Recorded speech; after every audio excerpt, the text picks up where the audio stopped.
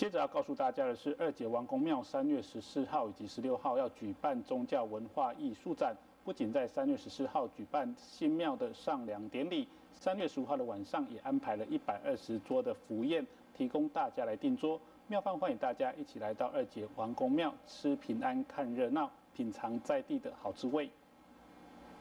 二姐王公庙的新庙工程在去年三月份正式复工，而现在已经有新的进度。庙方预定在农历二月十四，也就是国历的三月十四举办上梁仪式，当天还提供了平安汤圆，同时还配合宗教文化展的举办，让大家都可以了解二姐王公庙的历史。来定历今年啊，二月十四号要来周年吼，啊二月十五啊，来办理着咱的周年福宴安尼吼。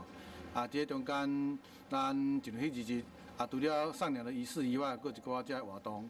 像特别是咧，伫迄日再再去吼，啊，咱就添面好遮乡亲，遮实实在在，啊，咱庙会来送一个提锅吼，会当装影倒转去食呢吼，食平安。咱新庙完工了后，将会甲咱啊旧庙来对下，互咱传统的文化艺术，啊，甲咱新庙的文化工程，啊，新庙工程艺术啊来互相做比较。甲咱先人的智慧，也，甲咱即马现代创意，也，形成一个啊，咱遮二级啊王公庙的一个特色。相信啊，伫咱二级王公庙新庙工程完成了后，二级王公庙将会是咱宜兰县非常著名的一个庙宇啊文化。啊，伫遮嘛邀请咱所有的乡亲，啊，伫二月十五、二月十四、二月十五。二月十六，大家共同来见证这历史的一刻。另外，三月十五号晚上也安排了福宴，一桌十道菜，全都是五节农民所种的优质在地食材。不仅菜色丰富，菜名也很有意境，所以庙方欢迎大家来订桌，一起品尝在地的好滋味。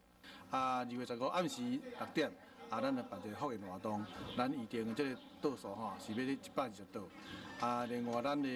二月十六吼，啊，咱有传统咱的日王公生，咱活动会来下平安，安尼啊这个。啊，另外十四、十五、十六这三天，啊，咱庙方嘛办一咱的宗教哈艺术展，在咱安尼吼，欢迎各位四处大地、各位乡亲，会当来参与咱这活动。由于场地受限，福宴限量一百二十桌，每桌是三千五百元。有意订餐的乡亲，现在开始就可以向二姐王公庙来登记。而三月十五号当晚，除了有美味的福宴以外，现场也有歌舞以及萨克斯风的音乐表演，要让大家吃平安、看热闹。宜兰新闻记者刘耀珍采访报道。